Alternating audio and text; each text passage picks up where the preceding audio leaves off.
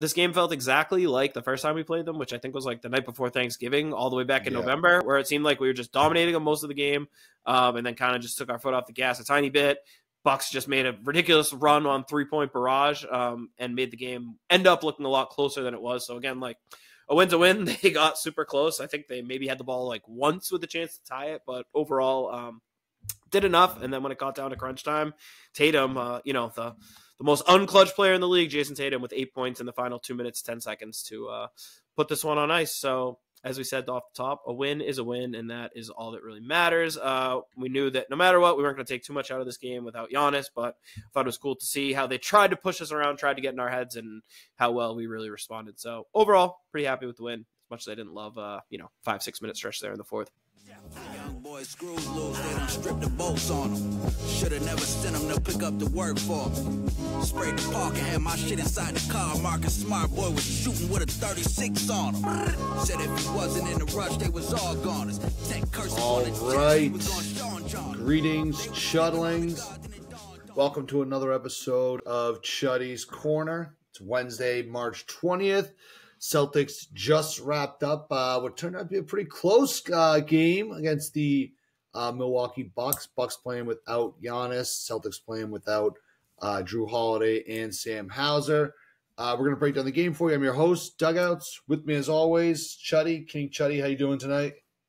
Uh, I'm doing great tonight. I mean, this is you know Christmas Eve meets the Super Bowl in in Chuddy Land, as we've got you know the best day of the of the year of the calendar tomorrow with the first day, the first real day of the NCAA tournament. So uh, I am probably not gonna be able to sleep tonight. I got both my crock pots out, fridge full of beers. I got some uh, shrimp cocktail on deck, putting into pulled pork, meatballs, nachos. Uh, yeah, I'm doing Yeah, well. I'm doing is- real well. yeah, this is this is definitely uh, one of those bigger nights in the Chuddy household. Mhm. Um, so, yep, very exciting stuff. Before we get to the March Madness, though, there was a little bit of madness in Boston, uh, especially in that fourth quarter. So I mentioned Yeah. it before. Celtics get the 122 to 1 9 win over the Bucks. Uh, at one point, they led by at least like 18 points. I think was the biggest lead of the night. 22, I think. 22. All right. Yeah, there we go. Um, great stat collecting. Um, so Tatum had 31 points, eight rebounds. Uh, Jaylen had 21 points, also eight rebounds.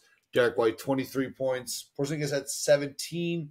He went 0 for 5 from three. So apologies to the Chuddy Bar Parlay disciples. Uh, but Chuddy, why don't you go ahead and break this game down for us? How this one play out? Yeah, it was almost like a tale of two different games. You've got basically the first three quarters and then the fourth quarter, uh, where it seems like you kind of two different stories. Uh, as you mentioned, no Giannis, so immediately takes some of the shine off. You know what we thought was going to be a really good matchup, maybe an Eastern Conference Finals preview. Uh, you know, still a good game, plenty of firepower, but that obviously completely changes the math. As you mentioned, no holiday for us. Uh, just bumped Horford into the starting lineup.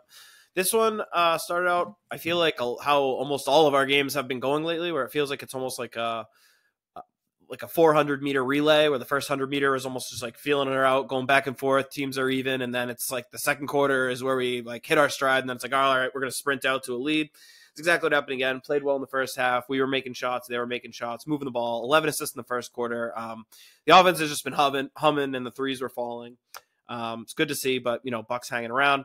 Second quarter was where things really got interesting um, and i loved watching this part of the basketball game. The bucks you could tell, um, you know, they knew they were kind of out talented tonight with no Giannis, and I think they also they wanted to kind of send a message to us to get in our heads. I think to muck the game up, to try to out top us. Game got extremely chippy. There's a lot of a lot of Yeah, chirping yeah. going on, a lot of Oh, they physicality. mucked it up. Refs were letting them play. Um, and really, the biggest story of any of this was Pat Bev. Pat Bev scores a basket on Pritchard, does the too small a gesture, and from there, Pritchard basically just turned into Michael Jordan for the next like eight Yeah. minutes. Um. That had to be the best stretch of his career. I think he had 13 points, like yeah. four rebounds and three assists just in that like eight minute run in the second quarter. Um, yeah, he was. he did a little bit of everything. on. he he hit a pull up three. He had a hard drive, like right through Connaughton, like shoved him off for, to get space for a layup. Uh, he had a couple. He finally missed one three. Immediately got his own offensive rebound. Um, set up Porzingis for like a dunk. He hit another crazy step back right over Gallinari. Uh, It, was truly like he was in an unreal zone. You could tell that he, He had one that was super the. contest. One, one three. I think that was the super Gallinari one The where Gallinari he one, stepped yeah. back right on him. I think his foot was on the line, but still, it was just like when he made that one, it's like, oh my god, he's just like in an absolute zone right now. And credit to Mazzulla, he let him go like that whole second quarter because he was just the best player on the court. Um, he was making steals on defense. Like there was, he took it. Whatever happened, he took it extremely personal. Exactly how you want to see someone like rise to that kind of game. He's bringing so much energy. He had that play too. He like ripped down a jump ball over Brook Lopez. It's like a foot taller than him. Uh, crowd was on their feet, and rightfully so. I mean, that was like the Payton Pritchard quarter. Uh, Tatum had it too, but it was almost like the two of them were going back and forth. Like Pritchard was on Tatum's level for that run, um, and he was almost deferring to Pritchard a little bit. As anytime the double would go, he would happily toss it over to Pritchard, and Pritchard was driving past people. Pritchard even had one play where he kind of did that thing where the point guard would like sprint it up over half court, almost like he's running to the coach, like he's gonna call a timeout. Mm. He almost like lulled Connaughton into it, and then he just like crossed left and blew right by him, uh, got all the way to the hoop, and then kicked it out that's on the collapsing defense for a Derrick White corner three. It was just absolutely beautiful. Um, like I really don't think that's hyperbole to say that was probably the best quarter of Pritchard's NBA career. He was like the, the difference maker. It was Yeah. really really awesome to see, Yeah, and that that's was what like, uh, didn't he have like hundred points in the Drew League? Right, yeah. like that. pro I am. like he was he was he was looking to go for the pro MP. Yeah, yeah, uh, yeah, and rightfully so. Like I said, he was he was feeling it. It was almost just like, a, all right, get out of Pritchard's way because he was flying up down the court. He brought just such a crazy level of energy, um, and we were just like a step ahead of them for that whole quarter. That's how I think we got out to that like 18 point lead or whatever. Again, felt like a back and forth game where the Bucks were playing well, executing, making shots. Um, they tried to muck it up and it just backfired on them. We, I thought we rose to it. I thought they tried to get really chippy with Porzingis. Uh, you saw they were hacking him a lot. Crowder like forearm shoved him, threw him to the ground a couple times, and uh, again, I thought for the most part, like Porzingis responded pretty well to that. He got to the line, made a bunch of free throws. Um, he was going down there, posting up, abusing mismatches. So kind of everything you'd like to see. And then Tatum in that first quarter was just awesome. Kept uh, making threes, making the right play over and over again. Great to see. Um, third quarter, more of the same. Really, just kept pushing. That that was the Jaylen Brown show. Jaylen took over. Um, and he was doing it all. And a lot of it was with Tatum on the bench. Tatum didn't even attempt a shot in the entire third quarter after he had like 23 Yeah. points in the first half. I don't love that. But we stretched the lead out by five. Like we were playing amazingly. I, I can't even Yeah. argue with it. We played so well. Uh, Jaylen, awesome quarter, and it was it like was occurring to me in the moment that it's just incredible. Even the difference from last year to this year, how much poise Jaylen has, where he was completely running the show and making the right play every time. He felt so comfortable. They're throwing doubles at him. He's making the right pass. They're trying to, you know, get Pat Beverley in to like foul him and mess with him, and it's just not working. He's making the right plays, blowing by people. He was getting to the hoop, making some crazy finishes. He had one play where he just drove like right through a guy for an and one. He had another one where he drove through him. He didn't get the call, but he went up and under, finished with the left. He had a couple pull up threes, um, getting into the mid range. Really was like an everything quarter out of Brown. So awesome to see it. Again, I think we had the lead all the way up to 22. End of the third quarter felt like we were probably just coasting uh, to the finish line at that point. Um, not so much. The Bucks came right out, started Yeah. absolutely drilling threes, and it was kind of my key to the game. Was I said the one way they can kind of get it going is exactly what happened. It was Dame uh, beat Malik Beasley and Bobby Portis all just got super hot. They kept making threes. They went back to that zone. This time it kind of did muck things up. Um, the Celtics slowed down to an extent. I thought we weren't nearly um, intentional enough. I feel A little like bit. They, I feel like they like it, they see it was like they slowed down as much as you possibly could slow down. Uh, for- for I wouldn't there, say that. towards but- the end when they had to pull it out, but I don't know. There was I wouldn't say it was that bad. I would say it was honestly like I liked a lot of the executing. The shots just stopped falling, uh, and everything was going for the Bucks. I thought the one thing we weren't being nearly intentional enough about getting the ball to the nail against their zone, especially with Porzingis. And some of that I thought Porzingis was almost being a little too timid. He was falling a little too in love with the three. Where there was times where I was like, just go down inside and post up like against this two three zone. It's not. This is exactly why we got you. They can't stop you. Go abuse that. Um, and if they adjust to that, then you have Tatum run to the nail. And it was just again, I thought we were making good reads, making good passes, setting up a ton of good looks, getting good corner threes, and just miss after miss. So again, I think White Porzingis hit a few of those threes, and this game pro- they never probably bring in Dame back in. We're not even talking about this, so I didn't think it was like the offense just crapping themselves, sitting on the ball, not moving it. Um, I thought just missing a lot of shots we had been making, and then not doing a good enough job getting the ball inside, attacking the basket. Um, and again, the Bucks were just kind of going nuclear shooting on their end. Um, and then they were kept playing really, really physically, and the refs were letting them play a lot. I mean, you saw Tatum got hacked ridiculously hard, got teed up. They didn't call it. Um, Middleton and Dame were flopping. Like Al, that Al play should have been an and one. The Dame flop so bad. That Um, was yeah. That I don't know how. So what brutal. happened to giving out text for those? That that like Yeah. should have been. Yeah. I, I thought so too. Um, and then there was one like I thought JB was right in position on Middleton. They let Middleton go right through him. Called it on Jaylen. So just tough whistles, a ton of whistles too. It was a really good game. It was really physical. And then I thought they started kind of. The refs were injecting a little too much of themselves into the game, um, so Oh, it just yeah, got you like knew it was choppy between the time. yeah between that between the zone and then the Bucks just getting really hot. Suddenly the things got really tight, got all the way down to three points at one point. Um, and then Tatum, who again hadn't scored a single point in the entire second half, comes alive. And it, it was almost like you could tell we ran two awesome plays in a row out of the timeout and got great corner threes and just missed them both. And after that, it was almost like Tatum's like, all right, we did the right thing over and over again. It's not working. Like now, I'm just taking over because again, they really don't have a guy who can stop him. It's it's just funny that Malik Beasley is like their perimeter stopper, and he's a guy on most teams we'd like hunt that matchup out. so he's up there, and Tatum, I think he was just like, all right, enough of this. Uh, drove right to his left, got to all the way to the lane. They fouled him. Tatum made two free throws. Next possession, ISO'd again, spin move right by Beasley to the left, layup, uh, four points in a row. Then Tatum again made a really nice move, got right inside, uh, just missed a short jumper. Porzingis goes up, snatches a ridiculous one-handed rebound out of midair was goes up for the dunk. That put the re- lead right back up to seven. It was almost kind of a dagger. Um, well, and then um, give some credit to Jaylen Brown has had some free throw shooting issues for sure, but he went to the line with 20 seconds left, up two points, uh, biggest free throws of the game, and he knocked them both down to put it away. So um, What, Again- do a minute earlier. Yeah, he missed two free throws, but I thought that was almost kind of good. He got a chance. Both is so wild. I'm sorry. Yeah, but Like, no, for sure, exactly. But that's why I was very glad to see he like immediately got a chance right away to like kind of put that to bed and be like, no, I'm not, I'm not like shook. And he stepped right up, drilled the two free throws to ice the game, um, which is obviously what you want to see. And uh, again, I thought this game felt exactly like the first time we played them, which I think was like the night before Thanksgiving, all the way back in Yeah. November, where it seemed like we were just dominating them most of the game, um, and then kind of just took our foot off the gas a tiny bit. Bucks just made a ridiculous run on three point barrage um, and made the game end up looking a lot closer than it was. So again, like a win's a win. They got super close. I think they maybe had the ball like once with a chance to tie it, but overall um, did enough. And then when it got down to crunch time, Tatum, uh, you know the the most unclutch player in the league, Jayson Tatum, with eight points in the final two minutes ten seconds to uh, put this one on ice. So as we said off the top, a win is a win, and that is all that really matters. Uh, we knew that no matter what, we weren't going to take too much out of this game without Giannis, but I thought it was cool to see how they tried to push us around, tried to get in our heads, and how well we really responded. So overall, pretty happy with the win. As much as I didn't love, uh, you know, five six minute stretch there in the fourth, but Yeah.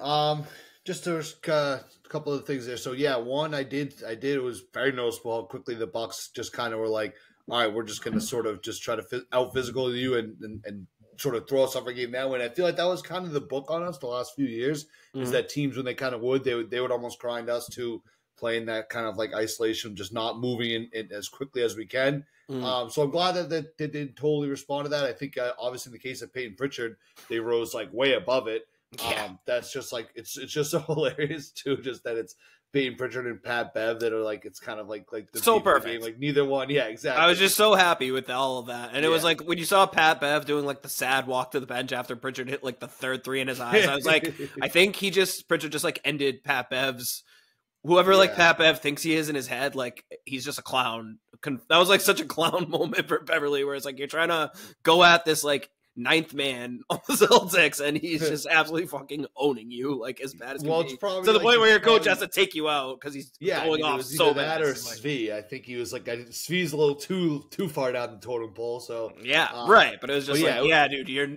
very like you're not that guy moment. Where it's like you're trying to get and all of it. Bobby Portis who was trying to get tough with Tatum and like immediately tries to back him down, and Tatum just like picks his pocket.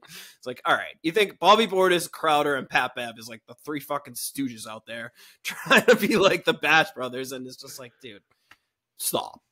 yeah, Such an annoying How old is Jae Crowder? clowns. That's he's got to be pretty old at this point now, right? Or Yeah, I he mean, really young when he was with us. No, he's definitely in his mid thirties. Um, I don't know exactly off the top of my head, but yeah, he's pretty old, pretty washed. But again, that's those three guys are all just in there to be like tough assholes, and it was cool to see us be like, "Fuck off."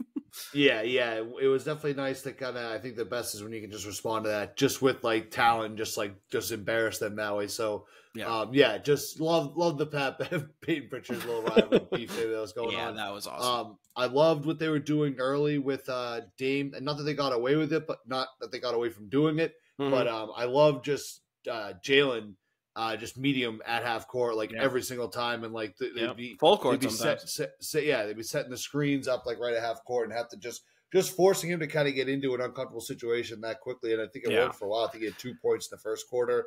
Um, yeah, you it worked really continue to- well. Continue to work through the game. and He's just such a high volume shooter. He's going to end up getting his points. I don't know exactly Yeah. what he finished with in front of me. think it 32 points, but it did seem like it was not That's crazy. Yeah. But it's like even the ones he makes, nowhere. some of the ones he even makes are just like Jesus Christ, like you can't contest. Yeah, well, Yeah. right, like I said, twelve of those are probably in the last like five minutes when they're basically just chucking to get back into it. And even those, it's like that one possession too at the end. Tatum had him like a friggin' glove, and he still just steps back and like makes the three. It's like you literally Yeah.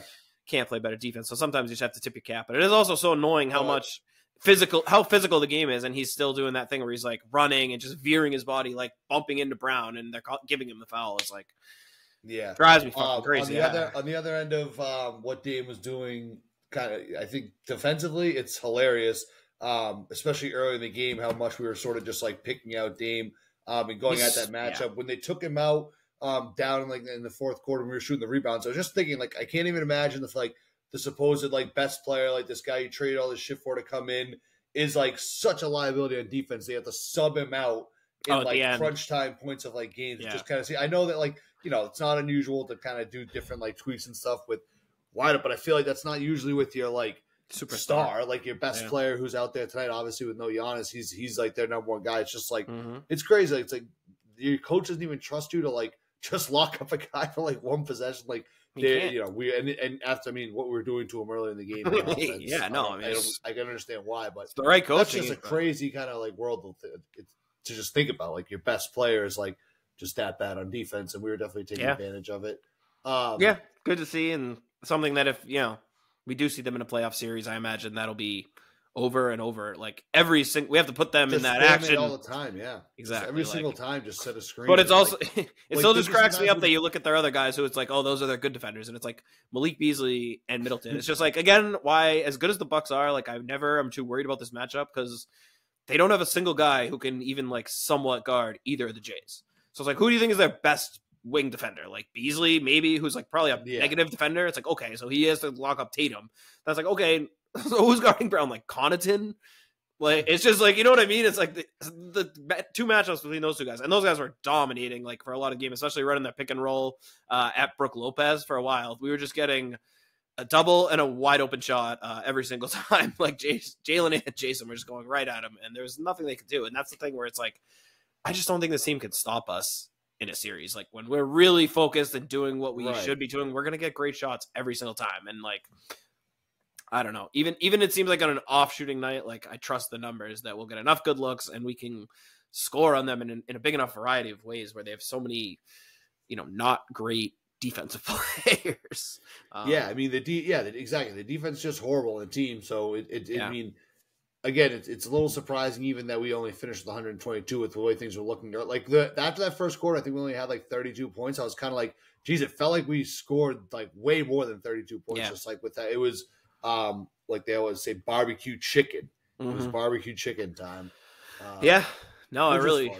it, it Did I was use fun. That term right? Did I use Yeah. that term right? Okay. No, they were they were Alright, definitely alright. barbecue chicken out there for a while. Um, Um, I think also uh, another thing too, if just getting back into the first quarter too, Tatum's kind of taken over that role as uh, yeah, like the the lord of the first quarter. So he had 15 against the Jazz, 14 against the Sun, 18 against the Wizards, and he had Mhm. 10 points tonight in the first quarter.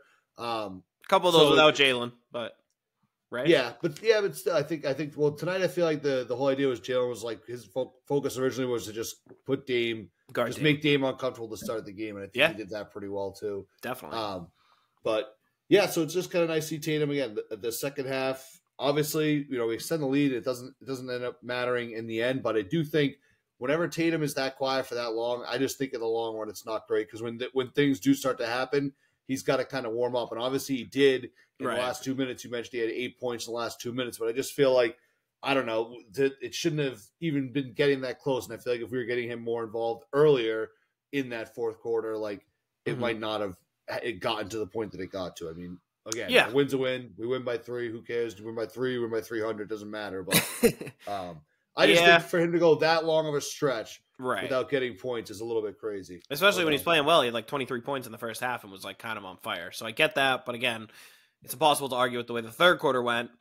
Um, and then I think it is just one of those things with, like you said, it's just it almost takes you a while to notice, and then it's like once they're on a 12-0 run and the lead's down to 10, then you're like, wow, uh, Tatum hasn't really done anything in a while. But again, my it's lights, like, my lights going out on me. See that. Know, watching on YouTube. uh oh, it's like a John Collins to plug it situation all over again. It's it just keeps going off. It's not. I thought it might be like like you know the remote batteries. You just works well, Like smack them and then they just work Nah. for uh, four days or something like that. Ugh. I might be I might be in for it now, folks. I'm sorry. Go ahead. We'll figure this out. painful. Um, well, yeah, no, I mean, I, I get it. It's it's like again, it's it's hard to.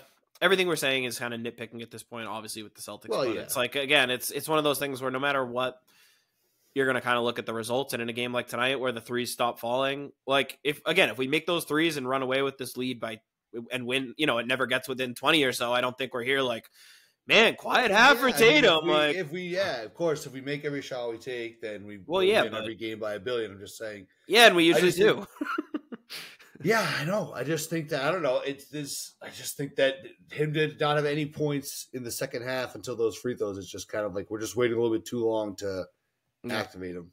I don't know. yeah, no, and again, I- like you, it, you can get it different ways. Like obviously, they scored points in the third; it didn't matter. But that whole Right. stretch in the fourth, I mean, they went on what like a twenty-two to six run or something like that. I just feel Yeah. like, um, you know, if he's kind of more involved in the offense, like, and I'm not even blaming, like, I'm not even saying like he needs to do it. I just feel like it just kind of happens. But I don't know. I guess I just think if you if we actually went back and walked it through like possession by possession, I think most of the possessions would be like, nah, that was a good possession. And like a lot of times he was starting it, they send a double, the ball moves, and again, I think White missed two wide open threes, Porzingis missed a corner three, and then Porzingis was like one of the. I thought, um, you know, I thought Porzingis played like fine, but I thought it was just. You mentioned he was 0 for five on three. I thought he also missed a ton of those like mid range shots where he had a shorter guy on him that seemed like he almost always makes those uh, Yeah. especially down the stretch where it's like perfect. That's the matchup. Turn around. I was almost like back him down just like another foot or two, get like a, a big step closer, and then just rise up and shoot over him. That usually that's either an automatic foul or he just like makes a bunny. Um, and so like he missed a couple of those. So again, I there was never a point where I was like really upset with what we were doing. I guess that's it's just a tough balance to strike where you don't you know we get mad when Tatum like takes over takes over and goes like ISO mode. It's like we want them to keep running the offense. They are. They're getting good looks and they're just not falling. And then it's like Tatum needs to be more assertive. So it's like I don't know. It's just it's it's it's a tough balance to strike. And again, you know, ideally that won't be an issue. But like I said, I, I think it's good at the end of the day that we got to see what happened when it got close and Tatum did score those eight points in the last two minutes. So it's like, all right, you want me to do this? Fine, I'll do it. And he did it.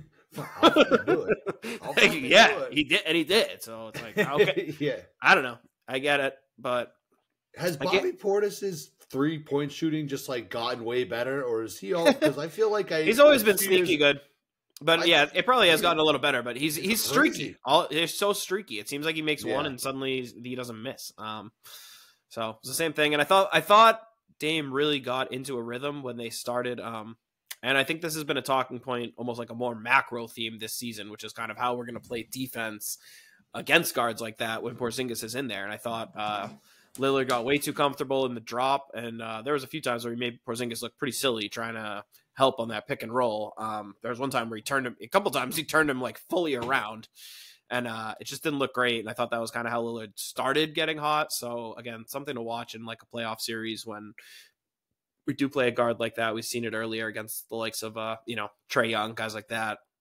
Obviously, Lillard, you know, showed tonight. He's a guy gets off a pick with an inch of space, and he's going to rise up. So will be an interesting series to watch uh, if and when Joe makes some kind of adjustment, maybe meets him at the level, maybe you know has someone else uh, tries to hide Porzingis on a different matchup so that he's not involved in that screen uh, action. But I don't know, just something interesting that I thought was helping them a lot when they were making their comeback and started to to step into some pretty good looks.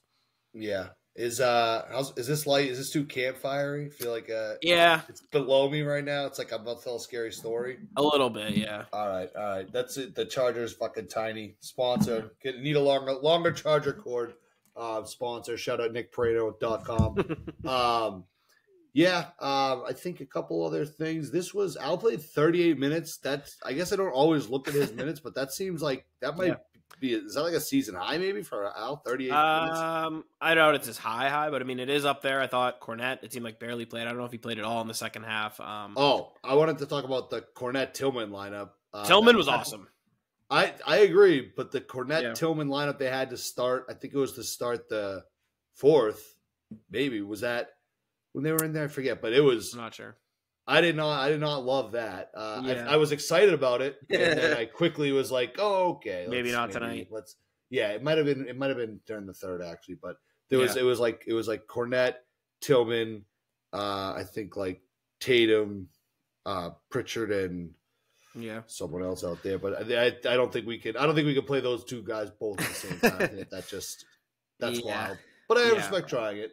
Yeah, Yeah, well, I mean, and we tried, we did it one of the last few games, and it worked great. So, um, I don't hate it. I just Luke had a rare, like he wasn't bad, but he, I feel like he's been having good games every time out there, and he just had kind of like a quiet, nothing game tonight. Didn't do much out Fell there. Fell back Uh, to earth a little bit. Yeah, he got stuffed a couple times when it seemed like he had a good positioning and wasn't making a huge impact. So I think he didn't get a ton of minutes. Probably why Al played a little bit more. Um, obviously they have a ton of size, the Bucks, and we're trying to throw it all at us. Um, I thought Tillman though played great. I love that play. I think it was either end of the first quarter when he was in there. He got switched on to Dame. Didn't let Dame go by him on the perimeter. Uh, Dame passed it away, and then he basically knew that there was it was just so Dame could get space to try to attack him again and Tillman stayed right on him um, and denied the pass, and he just picked it right off, like almost at half court. It was so cool. Like, how many big guys in the league are freaking doing that? So I was like, that got me pretty fired up. Um, I also loved the way we executed the two for one at the end of the first half, where we got the rebound with like 33 seconds, and it was Jaylen, and he did his like hard push sprint and just pulled up at the free throw line, like a hard jab and a pull up, and just hit like a perfect little free throw, uh, elbow free throw jump shot and it was like, yeah, I love that. Go hard, pull up, short shot. So it's like maybe Jaylen should be the guy doing the first part of the two for one.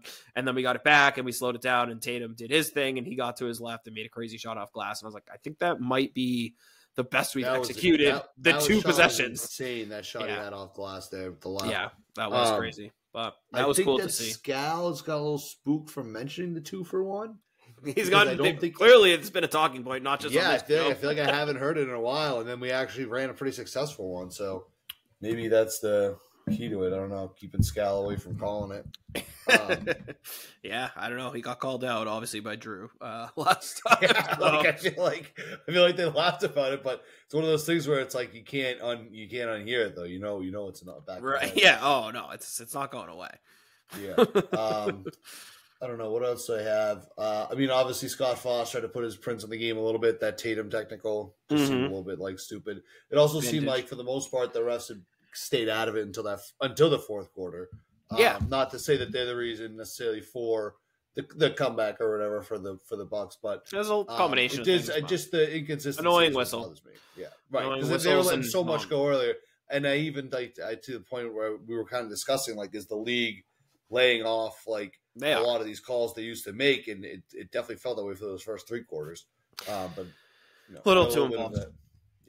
Yeah, and that's obnoxious to see, especially again for a game that it felt like they were mostly letting them play at like a very high level of physicality and almost like a playoff like game, and then they're starting to call a few chippy ones, and then again the Horford charge that they called would really piss me off. And again, I think Really that was when the Bucks were in the heat of their run. They had cut it to twelve from like twenty two. That would have been an and one for Al to put it back to fifteen. Instead, it was their ball, and they uh, immediately came down and hit three, cut it to nine. So again, just kind of these like big momentum plays where again it's like that's what I want us to do, and that was a sick pass by uh, Tatum too. I'm pretty sure to set that up for Al, and Lillard was still moving. Al like stopped. There was barely any contact. So it's again that's And one where I'm like in a playoff game, that's a no Yeah. call. Just, No, I mean he went flying. It that was ridiculous. It really was.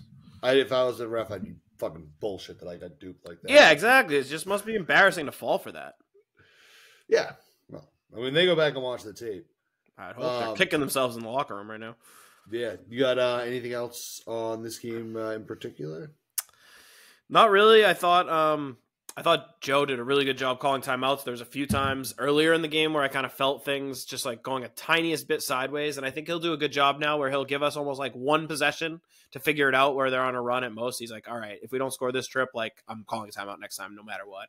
I thought he Yeah. two that were really good, and we came out and got a great look uh, off both of them immediately. Yeah, I think he had a couple nice. too uh, where they were with the Bucks were getting some quick putbacks, and it was like he was calling them just like Yeah. on that too, or just like like you said, where it's just like all right, that's like two plays in a row where there's no one there, like box Yeah. counter or something like that. So like, Yeah, he had a rage timeout on that Connaughton putback. I think was one of them. Yeah, yeah, that's what I'm which- of. Yep. Yeah. Mhm. No, he's just. I mean, little things where it's almost like with Co- we we talked about it. I think last year when everyone would kind of criticize Mazzulla, and I think with NBA coaching, even if you like you know a lot of basketball, we probably realistically only know like ten percent of like what the coach is is and isn't doing. So a lot of it. 5%. Yeah, well, yeah, right. Yeah. No, but I'm saying like even even if Yeah. you know everything about basketball, you still like don't know what he's actually like so they're supposed to be doing, and if they're you know, Yeah. he could be saying all the right stuff and the players aren't listening for all we know. So again, it's hard to judge the coach, but I think the point is like it's a lot easier to tell bad coaching than good. So it's like easy to point out when like someone doesn't call a timeout and a team goes on a huge run and you're like, what the fuck? But when the coach like kind of is doing all the little things, it's easy to just not notice it almost. So I think that's kind of like the sign of Joe's coaching progress. The fact that most games we just kind of like don't notice it. Versus last year where it would be like, oh my god, he did this. Yeah, on the other side of the coin, so I I had like what happened with the play where Doc called the timeout? They went to commercial, they came back, and we got the ball instantly. Like I missed that split second play, but I it's like I heard like the whistle, and I'm like, wait, what the hell? Like because they just came back from commercial. Remember, I texted you, I was like, Yeah. did, Um did, did they even they show just- it on TV? Because they didn't even they didn't even mention it in the play by play or anything. I think they just dribbled it up and like immediately passed it right to us.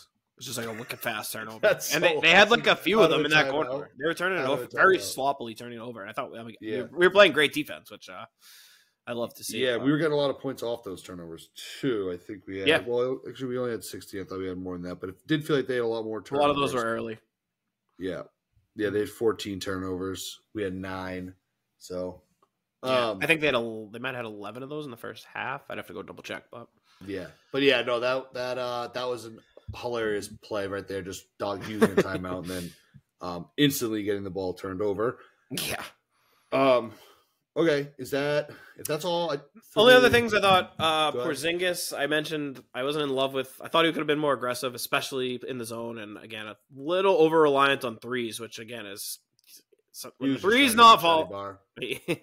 yeah, uh, didn't love that, but I thought he did have some great passing. A few really, really nice passes that uh, I was like, oh, maybe give me like a second take. Like, wow, if he's gonna pass the ball like that out of the high post, like that's. Uh, I think it, I think Gorman or Scal even said it was like a Jokic like play at one point. I was gonna say. and it really was. One of them was. He had a Jokic couple. He had a couple nice passes. Um, so that was cool to see. Fan of that. And then I just thought it was interesting. At one point, Gorman called, uh, mentioned was talking about the game and said we're playing the Bucks, our biggest rival in the East. And um, I don't know. I feel like that's not the case. Is what there? I feel like they're our stiffest competition, perhaps right now, but. I don't know. I don't. I feel like the Heat are a bigger rival, and maybe even like Philly might be a bigger rival. Like we've, I don't know. I we've, we've really like only what- played the Bucks like once. I think what he probably meant it by was like the biggest competition. I Yeah, maybe. because I don't know. I mean, he's got yeah, he's got to know that. I would I would say Miami. I would say is probably. I'd say Philly. Just they don't ever beat us. So I don't know. Like Philly. Yeah. it's hard to call that. And like that's what even what Embiid said. But it's like uh, I would say like as far as who I would like dislike more. Like I would say I dislike the Heat and the Sixers definitely Right. more. I don't like the Bucks, but um, yeah, I think I, I guess that's what he means. I feel like But we've always that- been the two best, but we've only matched up the one time, like, and we beat them. And I don't know. I feel like there isn't like that much of a rivalry there. All even all the big regular season games, I feel like we've like stomped them. Kind of. It just, I don't know. Yeah. I get it. I like I said, I get what he's saying. Who I would you say? Who would you put as our number Heat. one rival? The Heat. Yeah. played them? What, three out of four years. We played the Heat three out of four years in the East Yeah, yeah, Finals. yeah. Like, how could there be a bigger Right. And they've all gone to us. And they've all yeah, gone to yeah, seven, like- exactly. Yeah, we played them back to back seven game series in the East Finals. Like, I'm, I'm Yeah. pretty sure that's our yeah. biggest I'm rival. gonna right guess now. that Mike either is just completely mailing it in, which I don't understand, um, or it's the Heat. like I It's think he might have just meant. I think he just might have meant the biggest like threat by Yeah. that. I don't know. Maybe a different use of the word rival. Yeah, yeah. Just thought it was interesting. I guess. But yeah, no, I would definitely say I would say the Heat, and then again Sixers ish. Like those games, those I just love those series. Those ones are always just the best. Like just Yeah, yeah. whooping like your little brother. Um, right. yeah. Um, all right. Well, before we get it over to uh, around the NBA, I think we should give a quick shout out to Amina Smith. Last broadcast tonight. Um, the Celtics pre and post game. So um, yeah, it's going to be you know, ESPN, I guess. So they're poaching poaching some of the talent, but obviously for her, that's pretty good. Did you know that she's married to like a chief, like Yeah. the Chiefs? Yeah. All right. They talked. They were talking about it a lot uh, around the Super Bowl. the it was a main Bowl, yeah. talking point. Oh yeah, Yeah. she was pumped. So I wonder if that just makes she was on the field after. She was on the field after the game celebrating Yeah, after the Super Bowl. yeah, Oh, yeah. So good for her. Will be missed for sure. Um, Oh yeah, I think yeah, she's great. Tom Giles is going to be stepping in. So Yeah, I saw Um, Mannix on there today. I really don't want to see more Mannix. So uh, if I love Amina, but if she's gonna make me watch more more Mannix, I'm not gonna be very happy with her. we might be holding a grudge. Yeah, he was even pissing me off tonight with the shit he was saying on the pregame. I can't even remember what it Go was. I was like, uh, I'm trying to remember what he said. It was something. It was It just was a blind rage, no matter what. yeah. No, I mean it was What's warranted. Mannix deal? He feel like he comes and goes. Like, is it? What does he do? Does he stick do to- anything else on Stick NBC? to Sports? boxing. Well, that's what I say. I always see him on boxing. Like, does he do anything else on NBC Sports? Like, mm, I'm he's pretty sure his dad Celtics? like worked for the team and he was a ball boy and they like felt bad for him so they gave him this job and he just like, doesn't know what no, he's talking about. stop. Yeah, no, I'm pretty sure. That's like oh. seventy percent true. I'm willing to say. Cle- he's, a, he's a classic nepotism. Invite case. to come on the pod. I would love to see Mannix Chud debate in the pod. Yeah, so invite Would love. can come on the pod and fire back. Um, no, but I think it is going to be. I think it's Tom Giles. What I read, at least in the one article I read on the topic. that makes sense. Um, but yeah, so uh, good luck. Good luck to Amina Smith Definitely. all her future endeavors. Well, this might also go back to the point we were saying too. It is would Abby right. Would Abby want that job? Would she be back in over the studio? sideline? Yeah. Yeah. Maybe. Who knows? Does the Kayla Burns? Does it Kayla Burns? What's yeah. That no. Kayla Burton. Burton? Yes. Does she work for NBC? Or she just kind of one that was? I don't I think she works for ESPN. She works. Does work for ESPN. She does sidelines for college. I think football maybe. Okay. But uh, All right. I don't know. I don't. Uh, unclear. I I, think- you guess know what, what I the, think would what be a great- future plan is. I think they should move at if Abby wants, move Abby into the booth and have uh Chuddy's corner start doing the sideline reporting. I think Yeah. it'd be great. Lock in the Chuddy Chuddy head demographic, the ever elusive Chuddy head demographic. That would be smart. Yeah, they'll get the Chudlings. Yeah, you got the Chudlings, you got the power. That, Um, that is the move. Yeah. Let's, Yeah, let's hope That's they, the move. let's hope they oblige and realize that. Um, all right, so kick it over to you then for around the NBA. What do you got for us? Uh, that's going on around the league right now. Yeah, a few things going on uh, around the NBA. First of all, we haven't seen our good friend Marcus Smart in action for a long time, but we did get to see him make a nice appearance the other night as he Mm. uh, came off the bench to get teed up twice for calling out the officials. He got tossed from a game that he was not playing in. Uh, Love that. love seeing your player get tossed in street clothes. Great leadership. Um, and he had a point. The Grizzlies are playing great again. They made that a, made that a game against the Thunder. The Grizzlies just f- fight hard. That team never quits. Cool to see. Um, and you know it's cool to see a nice Marcus moment like that. Made me smile. Um, for sure. Also, got to give a shout out. Kind of was clowning earlier this season on Jalen Green of the Rockets, thinking he was uh, bust worthy, almost untradeable. He's turned it on. He's played great this month. Um, I know, you know, The they say not strength. They say not to overreact to March NBA basketball. That it's you know Mickey Mouse March and all that. Um, and I think Jalen Green even had done this, did the same thing last year, but he's been even better this year. He's averaged over 26 points, uh, eight rebounds last week. Got Player of the Week for the Western Conference, pretty cool. And the Rockets have actually won six in a row, uh, four in a row now. I think after Sengun went hurt, and uh, it looked like this thing was sewn up. I think they're only like two, two and a half games behind the Warriors for the 10 spot now, the final spot in the play-in. So sneaky Oh. making a push, um, which would be cool to see this get kind of interesting down the stretch. And a lot of that I really want Lakers Warriors though. I know, um, but it would be cool to see them not even make the play in. Would also be fun. So uh, I feel like no matter what, oh, probably going to get because a that good would be that would be e, that would be Rocket. That'd be Ime LeBron. So that that could be my spin zone for why that one would also be good. Yeah. Or if they catch the Lakers, Lakers and Warriors are almost tied, so they could catch the Lakers too, and If then you get Ime yeah. against the Warriors again. Like, That's So. fine too. Yeah.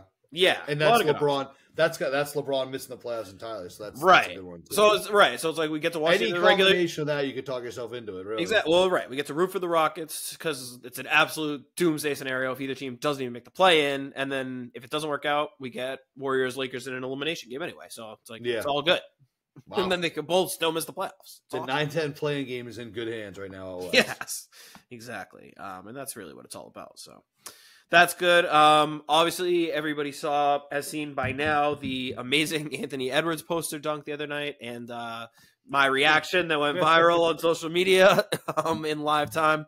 We should Yeah, also shout great. out that obviously some amazing that dunk is going to get all the credit, but we mentioned you had texted me later that night that Jalen Johnson had an awesome uh, poster dunk on Austin Reaves. Chet Holmgren had a filthy poster dunk tonight on um, Taylor Hendricks of the Jazz, another Jazz player. I had to do a double take to make sure it wasn't poor John Collins again. Um, but Is it was not. out, or was he out? He played. game? No, he. I think he played. Oh. He didn't actually miss the game. Um, Oh, okay. maybe he was out, but I don't know. But I that's like absolutely brutal, and I think I think kind of justified what I said about how you, you just have to milk the injury because he got cleared of the concussion, and it was just a contusion, which is essentially a bruise. So it's like you just have a bruised face, like dude.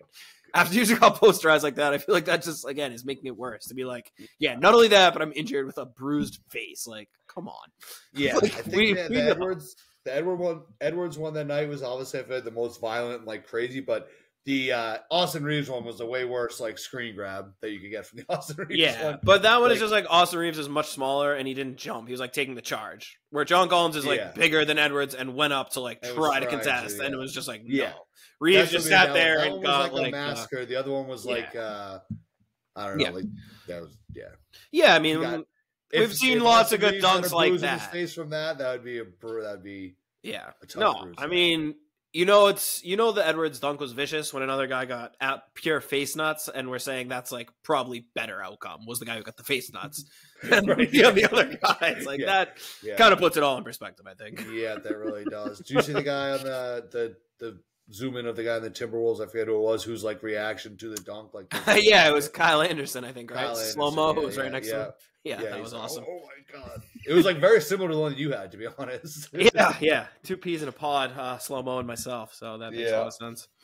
Um, all right, so that's cool. Speaking of the Wolves, they played f- almost funny game last night. It was supposed to be a huge game. Obviously, Nuggets and T Wolves. They came into the game tied, forty-seven and twenty-one, uh, right behind the Thunder for the one seed.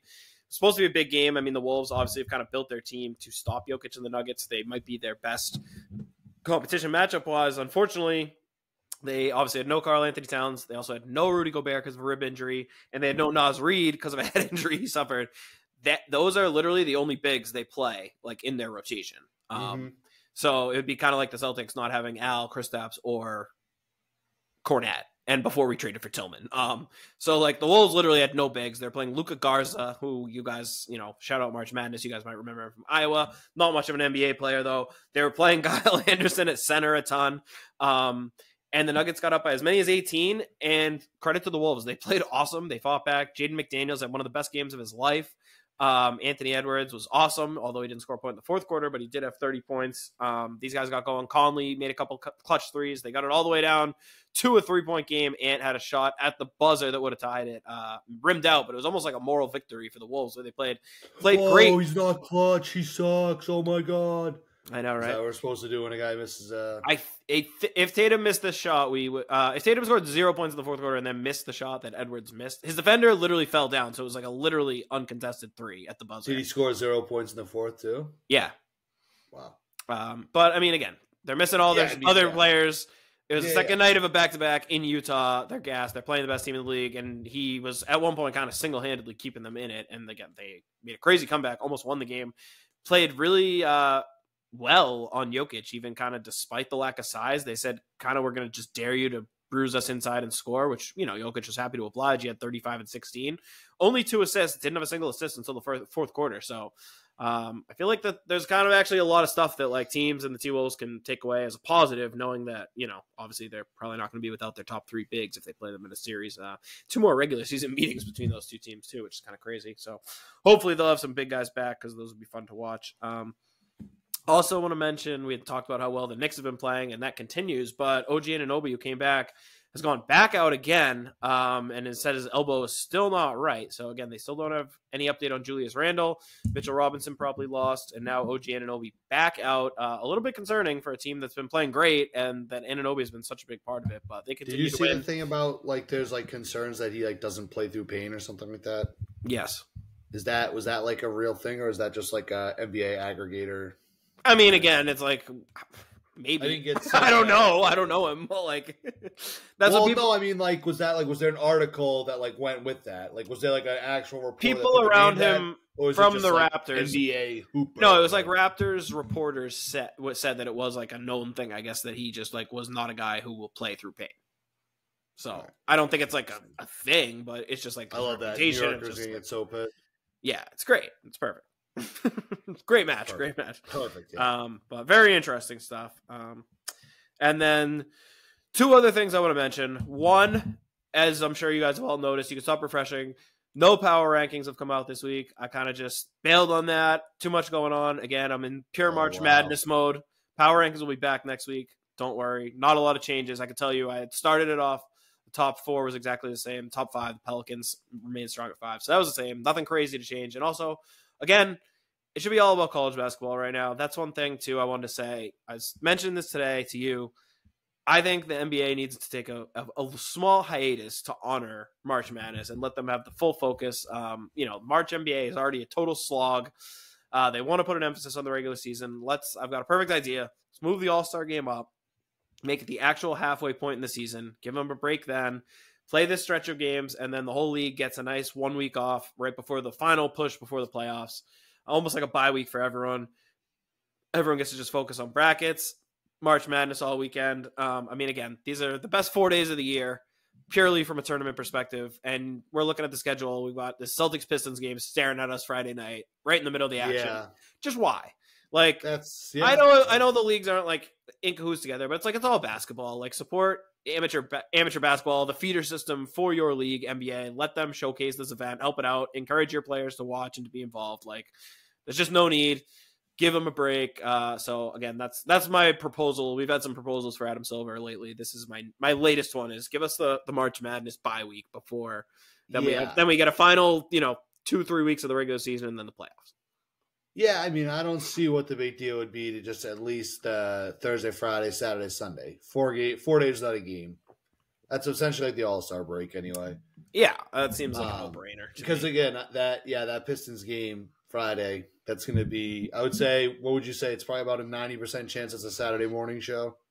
Yeah, for us, yeah, yeah, I, I would say that, and I mean honestly, I'm So, You know. Chuddy heads, if you wake up Saturday morning, don't panic. It, it's no, no, it'll yeah, it definitely will. Um, but yeah, I mean honestly, we've done this now. What is uh, seventy, almost seventy games, uh, six high sixties games this year.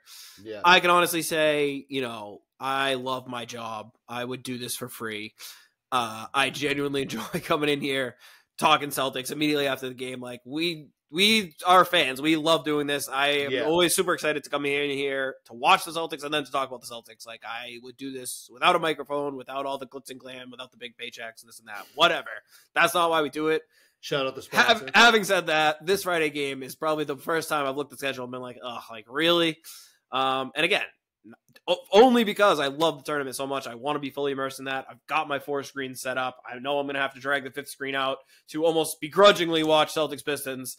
Um, so again, it takes a lot for me to not be like super locked in and fired up about a Celtics game. But if ever there was one, like this is it. So I guess maybe in a way, I should almost be thankful that it's just a Celtics Pistons game. Um, you know, maybe the Celtics will rest Yeah. everyone, and so they can go to the tournament, and we won't even have to worry. But either way, uh, just frustrating as a Celtics fan, but as a basketball fan, you know, I want to embrace this. It's arguably the best days of basketball in general at any level. It's the best postseason tournament in all of sports. Um, so just you know, embrace it, promote it, lean into it. Like you know, the NFL wouldn't Yeah. be playing games during like the NCAA playoffs. Like it's just Oh. Well, that's a terrible example because the NFL, I feel like, would absolutely do that. I feel I don't know the NFL At the same don't- they don't time as- they don't fold, they don't fold for anybody. They moved. They already moved in on Christmas. They're moving in on Black Friday. Like they're moving in on all the days that other sports have had. The NFL. other sports that they're like kind of competing with, but not college football. I'm saying.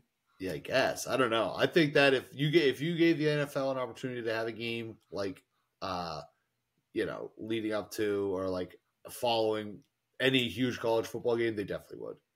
The NFL's well, I get I do get your overall Maybe. point. I'm not trying to debate that point. It's more just a comment. I think just the NFL is it get the get off the tracks. We don't want to hit by the train type thing. But I do I do Yeah. like the idea in general. It would be nice. Um, I do think that uh, you know, as someone who's watched March Madness with you several times before, um, trust me, Chuddy heads, uh, we're doing you a favor not having Ben try to uh, not trying to have Chud here uh, record the podcast um, during March Madness because we would be getting uh, a very depleted attention span. So. yeah, that's probably fair. Um, you Yeah, know, we but, gotta um, do my best to focus right now. We got the uh, first four game going on in Dayton, Colorado taking on Boise State. Uh, 43-43 in the second half. You know, Who ended pure up March winning that shit going first on. game. I saw him in overtime. Uh, Grambling, Grambling State held on to win. Grant, so. oh, fuck, brackets busted. Yeah, I hate to see it. Or, sorry, but, uh, It's too well, bad then I had I had Mountain State or whatever. Who they play? Morgan State was no, I don't know. It was remember. MTST. I thought I saw it on all my Montana State. It was Montana State. Montana State. Right. Yeah, I had them going pretty far, so my bracket's fucked. As always next year. Um, yeah. Uh, all right, but yeah. So uh, another suggestion to Adam Silver. Please at least take it into consideration Yep, um, for all of He's us got it. here. he's got. So it. yeah. So again, just just uh, just to make sure we're in a uh, programming note, that episode will be coming out Saturday morning ish. So you know Mhm. before tip off of the March Madness and stuff like that. So if you're driving over to a friend's house, heading to uh, go watch March Madness somewhere, the, the podcast should be up in time Yes. for you. To, to and we will m- definitely overcompensate for making you wait with uh, some excellent March Madness breakdown in the around or in the around the league segment. So don't worry about that. Oh wow, yeah, there we go. hmm Um, all right. So we have I got one the- more. Hold on, I got one more. Oh, oh, oh, oh, And this is a good one. I don't know if you know about this. I haven't talked to you about this. Have you seen the new uh, video podcast that started? That's uh, sweeping the, the basketball world by storm. oh, the LeBron and uh, JJ Redick one. Yes. Yeah. So Is it did you- that I think it's gonna kind of be? I mean, I didn't, I haven't, I didn't watch all of it. I watched most of the clips that came out. Mhm. Um, I was definitely clip bait watching, but uh, why? What? What do you? I mean, I saw that they're like So, drinking like wine around just- like a yeah. table.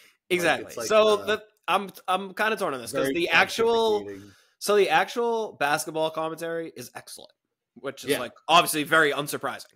Mhm. but they're kind of like holier than thou approach to it as if they're almost having this conversation that no one can understand but them while they're kind of just like almost flirting with each other and just like downing wine while constantly like talking about how much they love wine and like the show starts off where LeBron So is like been- I, those are the clips it's so over the top. They have so many wine bottles and glass on the table. They're talking about the different wines they brought to like share with each other. Uh, they each brought like three bottles. They're sitting there like keep really filling each other's glasses. They're talking about the different kinds of wine. Uh, LeBron brought one that he says was like he loves it because it was from his first like championship year.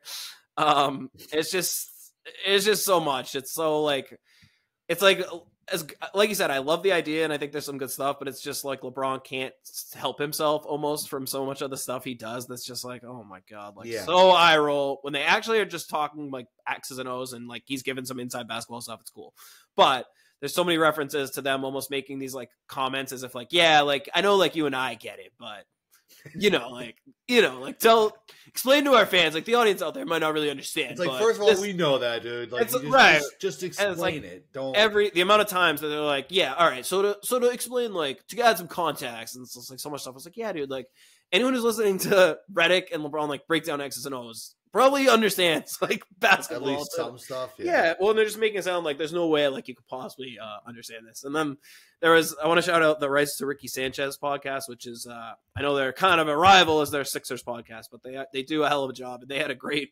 breakdown. Um, so I don't want to steal their thunder. You can go listen to it because they went through almost the whole podcast breaking it down. But some of the funny parts were like Redick asked LeBron like, "What do you think is the most important thing?"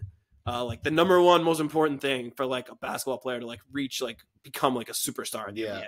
And his first answer was knowing the history of the game, which is just like so not that important, like at all. It's like Should he Like, improve I promise- shot or his yeah. post presence? Like no. it's like I'm, I'm, telling you, if he just knows how many games the 1968 finals. I'm like almost positive I know more about the history of basketball than like Anthony Edwards does, but I just I don't think that's like quite making up the gap in talent. Um, so oh my god, again, there's just like a lot of these just like ridiculously smug, clearly like planned out lines Yeah. that make the whole thing like over the top cringe, a lot of like smelling their own farts type of thing. yeah. Um and it's they're also playing this like weird, like almost romantic music in the background. All- It's just so again, I think it's a good idea. But, yeah, I to and then another good point that they brought up on um the Rights to Ricky Sanchez pod when they were talking about it was that they're, Wow, I guess, shout out the rights. What is it? Rights to Ricky Sanchez, uh, very famous Sixers podcast. It's really good. But um, they made another great point that I guess in the intro, they said that they're going to do one episode a week, like for a whole year. And they were just like, there's no chance LeBron does more than like eight of these before they just like completely Yeah. run out of things to say. He's made all his points and then is like, wait, I'm going to go sit down with like JJ Redick for another Well, that's hour what I was and just drink wine with him like every week. Supposedly Right. every week.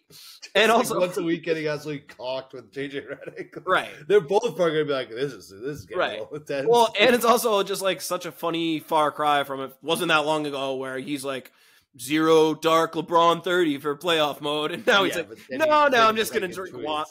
Right. Well, but now he's like literally doing a podcast every week and like drinking Well- wine and just like gossiping about the league. Well, that's literally it's like it's like the South Park episode where it's like it's like a tasting, so it's classy or whatever. Like that's Yeah. like basically it's like yeah, like, tweeting is like that's crazy in the postseason, but like going on a fucking bender with JJ Redick, like it's wine, so it's all right. It's classy. right. It's uh yeah, it's it's it's quite the show. So um Uh, No, I do. Yeah, it, it, it doesn't seem exciting. It sounds like It's gonna be hard clips- to not watch, kind of, just because it's gonna be like what people are talking about. There's gonna be good stuff in there, and there's gonna be so much stuff to like make fun of. I think something will probably go viral for it to be like a meme almost every episode. I'll. It might be the only podcast where I make sure to like watch the YouTube just because the ambiance of the show is so funny that you almost like need that Right, like, to where- fully understand what's where are they going to keep meeting? They were in some like dark room that looked like it was a set of like a Game of Thrones meeting with that like Littlefinger and like Yeah, it like and, uh, of like a Tyrion would be like had, sitting at. yeah. Like it was just so Like, outrageous. it was like that's That's what it seemed like. I, I Oh, terrible lighting, like I don't know the whole thing. So I guess um you know this is all a long-winded way of saying that um you know LeBron saw what the Chuddy's Corner was doing to the NBA podcast game, and he just does not, you know, can't stand anyone else having the spotlight of the credit, so he's jumped into our. We definitely got to start having some glasses. We put LeBron on notice. Uh, yeah, well, so we should just go completely the other way, just like, oh, like, yeah, so what do you have to? Oh, this is a Busch Light. Uh, it's like age from the year that uh, the Celtics won the last championship. it's probably from like 2018. It's been in my fridge know, since I yeah. moved. Uh, My college friend. yeah, it's well aged. a little bit more alcohol than Yeah. the other Keystone, so it's very special to me because Yeah. it's actually seven percent. So It's gone back and forth from being stored at anywhere between 92 degrees to Yeah. negative 11. yeah, it's like a very. It Yeah. could live in almost any environment. Right. It survives in all different environments. That's Yeah, funny. exactly. Yeah, I felt that we might be onto something with that. Oh gosh, that's funny. yeah. But yeah, no, that'll be interesting. I definitely agree with the sentiment that there's no way that he's doing that 52 times a year. No. We'll see. Um, I think they Like, set the over under. like they set the over under at just sending- 13 and a half episodes. They're like, how many episodes will they actually do over the next calendar year that both guys are in? And I think they settled on Yeah. like 13 and Well, I a half say the too, it would be it would be funny if LeBron just starts like just like sending like other people just like to like fill in just like right. Yeah, Yeah. exactly. trying to think of like who would be a funny person for that he could send, but I don't know. All of his Just like former cronies. like play with Yeah. send Zydrunas Ilgauskas Right. out there. yeah, Boobie Gibson, this episode is JJ Redick and Big Z as they Norris Cole, like- Boobie Gibson. yeah, it'd be good stuff. Yeah, Shout great out Big. Z. Mo Williams, Big Um, Z. oh yeah, Mo Williams. Who was the guy too recently that was like, J.R. almost Smith like- can get on there. Oh my gosh, now that would be a good one. Um, but okay, all right, yeah. So shout out the pod, their podcast and shout Yeah. out the Philly podcast. Yep. Um, so what do uh, we have? What is it? We were just saying the Pistons coming on Mm. Friday. Uh, we saw the Pistons like two days ago. uh, just like don't don't just like fall into the trap. Let me see if I can do this. Don't right. fall into the trap. Uh, I did see that they just lost uh, Ausar Thompson Mhm. for the year, and also a guy possibly with the last name Anderson. No, beef stew, Isaiah Stewart. Isaiah Stewart. Okay, Anderson. Nope. Um, just lost He's- those two guys. he's the crazy one. Even more. Stewart is the one who uh, Oh yeah, popped one you of the- banks the in the face. Yeah. Yep. So, oh yeah, pop the guy in the face. I forgot about that. Um, so they're missing them. So you know we'll see a lot of more bench guys. Uh, our guys have to play well. Wouldn't be surprised to see some of the top guys rest. Don't fuck it up. Uh, yeah, that pretty much cover the matchup. I think you nailed it. Solid recap. don't get hurt. This is a don't get hurt game. That's fair, yeah. And don't, and more importantly, yes, don't get hurt. All right. So I will see you. I'll see you before that for the madness. Looking forward to it again.